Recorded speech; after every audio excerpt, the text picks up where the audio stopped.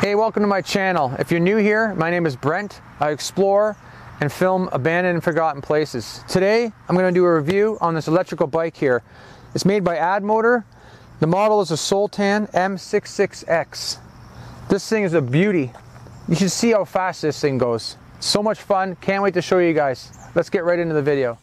The bike comes in four different colors. Black, orange, white, and yellow. This e-bike is powered by a Bafang 48 volt 750 watt rear brushless gear motor. It can travel 85 plus miles with a fully charged battery. Top speed of approximately 38 kilometers per hour or 23 miles per hour. The battery is a Samsung 20AH. Takes approximately 8 to 10 hours to fully charge. Of course, the battery charger is included with this bike. The bike has a twist speed throttle, just like a dirt bike or a motorcycle. It has a front 40 lumens LED headlight, also has a rear brake light, running light, and turn signals. It includes a 108 decibel horn and a handlebar bell. It includes a two seater banana seat the frame is an aluminum alloy step through frame.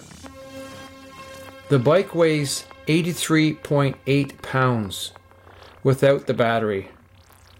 The bike has a 7 speed Shimano derailleur with a right thumb Shimano 7 speed shifter. It has a front and rear 180 millimeter disc brakes The e-bike has a full suspension.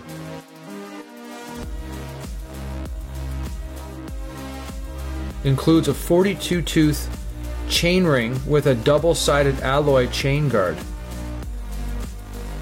It has an adjustable stem and a handlebar. It has a large LCD display that shows the battery level, speed, average speed, top speed, and the seven different speed levels. What is super cool is that it has a wooden footrest that provides a comfortable place for your feet to rest during riding. It comes with foldable passenger foot pegs.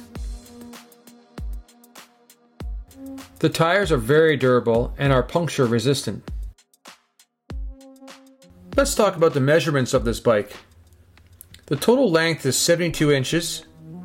The seat height is 32.5 inches. The wheelbase is 48 inches. The handlebar width is 30 inches. The banana seat is 23 inches by 8.5 inches. The fat tires are 20 inches by 4 inches. Addmotor has tons of accessories for this e-bike, like a front basket, a backrest, storage compartments, and more.